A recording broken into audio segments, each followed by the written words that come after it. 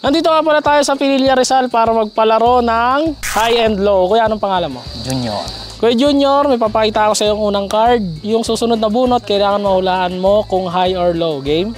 Game. Okay, unang bunot natin. King. King, ang unang bunot natin. Kuya, high or low? No. Okay, low. Sunod na bunot.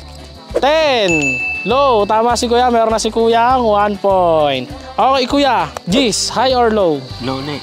Low ulit. Sunod na bunot. 9. Dikit na dikit, guys. Dikit na dikit. Naka 2 points na si Kuya. Next, high or low? High. High.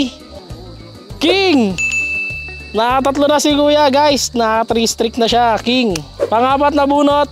High or low? Low. Low. Hmm. Cinco. Nakakaapat na si kuya guys. Apat. Panlima. High or low? High. High. Jack. Dahil dyan kuya, naka 5 points ka, meron kang 100 pesos. Shout out, ba may mga gusto ka sabihin? Shout out Pinilla. Yon. Kuya Junior, thank you. Next player, let's go.